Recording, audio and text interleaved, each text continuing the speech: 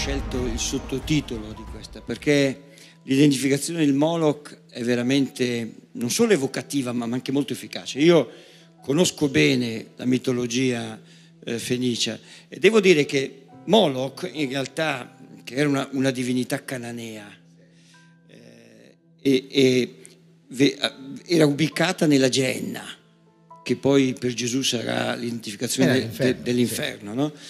E aveva questa caratteristica. Eh, voleva sacrifici di bambini. I cananei cosa facevano? Sgozzavano i bambini, poi li ponevano nelle mani di questa divinità di metallo e li bruciavano. Mentre i fenici avevano un'altra caratteristica, adoravano sempre questo, questo Moloch, però i bambini, non li sgozzavano, li ponevano vivi nelle mani di metallo di questa statua e poi bru- li bruciavano vivi. La cosa interessante è che questo avveniva in, in luoghi che si chiamavano tafat, cioè eh, tafat vuol dire braciere, no? questi santuari. Ce n'è stato uno anche qui in Sicilia, a Mozia, nella, dove i fenici avevano, eh, erano ubicati.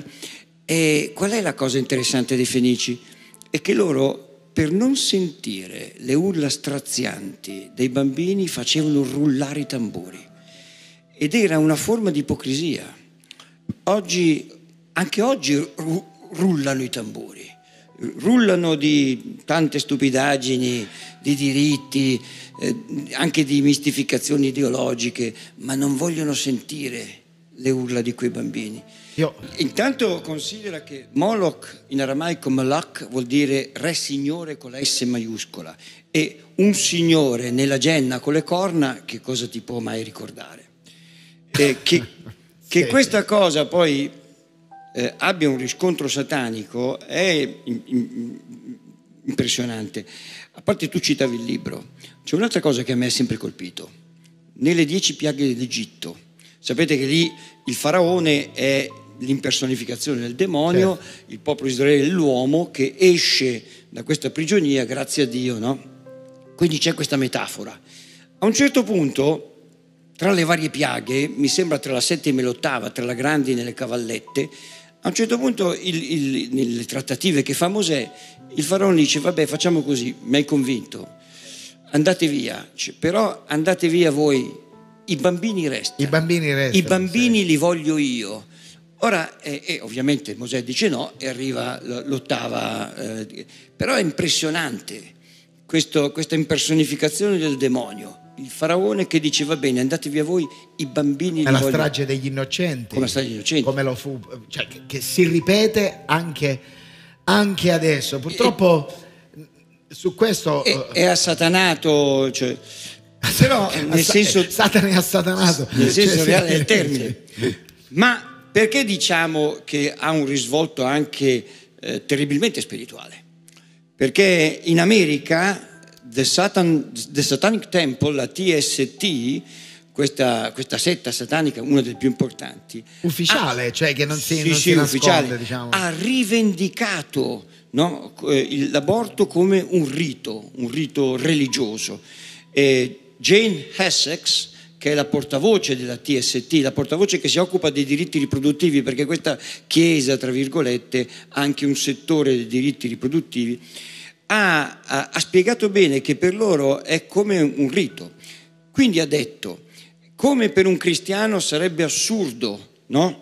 Eh, limitare o condizionare il battesimo, questi, un sacramento di questo tipo, per loro è assurdo limitare l'aborto. Tant'è vero che hanno invocato la legge sulla libertà religiosa, no? contro tutti quei provvedimenti che in qualche modo ostacolano l'aborto. Le immagini che stiamo vedendo è proprio questa setta diabolica, questa setta satanica, se nel frattempo la facciamo anche vedere, che a Campidoglio, stiamo parlando qui nella, proprio nella sede della, a Washington del governo, hanno uh, fatto Satana eh, non ha i diritti, cioè nel senso che il satanismo deve avere diritti, hanno inscenato questa sorta di messa nera dentro proprio il Campidoglio. Satanisti che inneggiano a Satana parlando nelle loro lingue e tutto il resto e queste immagini che noi stiamo vedendo con questo specie di piccolo demonio in una culla perché fu proprio nel periodo natalizio proprio quest'anno hanno ricevuto proprio il Biden ha ricevuto questo eh, questa setta perché loro hanno il diritto nella libertà religiosa di inneggiare a Satana, quindi eguaglianza, tolleranza e passione. Il Moloch con le corna che aveva il Tafat nella Genna è anche il padre della menzogna. Tutta questa fuffa del politicamente corretto di, è basata, è, è una maschera, una finta maschera di bene. Dietro c'è razzismo, sfruttamento, capitalismo selvaggio. Eh, assenza di scrupoli. Assenza totale di scrupoli. Morale a doppio standard. Cinismo. Esatto. Esattamente. È veramente disgustoso. Eh, ecco perché è un bene falso, è la falsa maschera del bene che mette Moloch. L'unico bene vero e l'unica cosa che può liberare l'uomo, a cominciare da questi bambini, è Gesù Cristo. Gesù. Ma, ma no, non la, la fede religione. cristiana. Esatto. Ma, proprio Cristo. esatto. E, e, e, dico, si stava meglio quando sì. c'era Moloch? Eh, no. Allora, noi dobbiamo anche renderci conto della grazia che abbiamo avuto. Cioè, Dio ci ha liberato da quel mostro con le corna il quale ovviamente c'è ancora fino a che non verrà rinchiuso per sempre e noi grazie a Dio penso ci stiamo avvicinando eh, a tappe forzate verso la chiusura.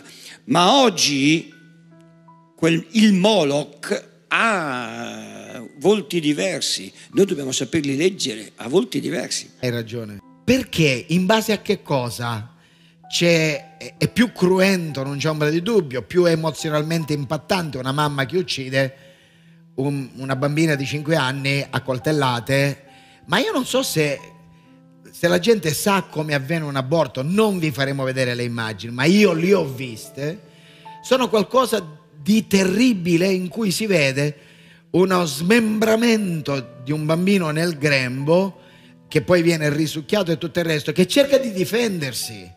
Quindi qual, perché? perché si deve garantire un diritto di qualcosa del genere e si chiama invece l'omicidio e tutti vorrebbero morta la madre di questa bambina che, che, che in maniera terribile ha, ha, soppresso sua figlia? Perché questi due pesi, queste due Hai misure? perfettamente ragione. Intanto c'è un film molto bello, si chiama Unplanned, che so. io suggerisco a tutti di vedere. Ma in realtà se passa il principio che tu puoi uccidere, non c'è, lì, non c'è differenza Prima avevano tentato ponendo dei termini, tre mesi, sei mesi, nove mesi, poi non so se vi ricordate, siamo arrivati addirittura... A nove al, mesi? No, addirittura al partial abortion. La Clinton ha, ha, pubblicamente detto che finché il bambino ha la testa dentro e mezzo fuori e mezzo dentro si può uccidere. Quindi, no, cioè, Quindi con una iniezione... Allora a questo punto che senso ha? Eh, è chiaro che è soltanto una convenzione stabilire quando secondo loro è vita, è vita fin dal principio, quindi fa più impressione una madre che uccide, ma eh, sono circa 50 milioni all'anno nel ecco, mondo. Diamo, diamo questo dato sì, che è l'OMS. Cioè che è terribile. È, è, è, quasi tutta la popolazione milioni. italiana d'Italia ogni anno spariscono. No? per cui non c'è più, non c'è differenza. Mm. E guarda che una volta che passa il principio, dopo si arriverà a dire che non c'è bisogno che sia mezzo fuori e mezzo dentro, magari, magari un minuto appena uscito, poi si dirà cinque minuti. E, e, ma, ma, ha senso cioè, questa cosa?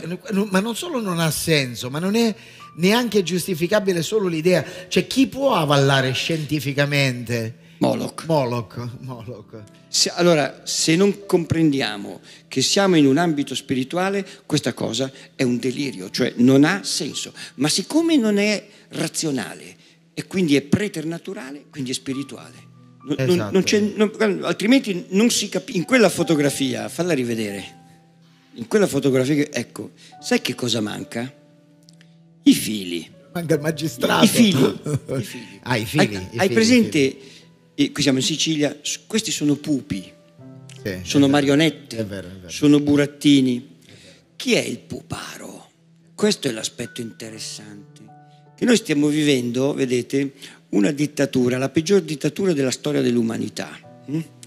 Peggio del nazismo, del comunismo. Perché? Perché, Perché innanzitutto è una dittatura strisciante, è una dittatura eh, transnazionale globale, non è la Germania, la, la Russia, la Cina, ed è senza volto. Il tiranno non ha volto. Hm?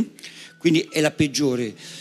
E perché non possiamo pensare che Soros, Bill Gates, il Bilderberg Group, la Trilateral Commission, il G7, la von der Leyen, questi sono pupi. Avete presente il teatro dei, il teatro dei pupi? Mm?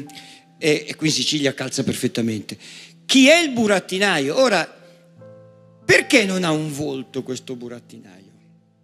Non è umano? Ma poi c'è un altro aspetto inquietante. Vedi, anche l'uomo più cattivo di questa terra, il più perverso, volete Soros, quello che volete, beh, è uno che comunque vorrebbe lucrare, no? prima o poi, dalla propria malvagità. Ma chi è? Se tu guardi qui, vedi dei processi che durano 100, 200, 300, 400 anni, no? Oggi noi vediamo una cosa e diciamo, ecco, vedi, questo è il frutto di un processo iniziato 200 anni fa. Ma chi è che non ha tempo? Chi è che vive nell'eternità? Chi è che può permettersi di fare un progetto a 500 anni? sì, sì. E non ha volto.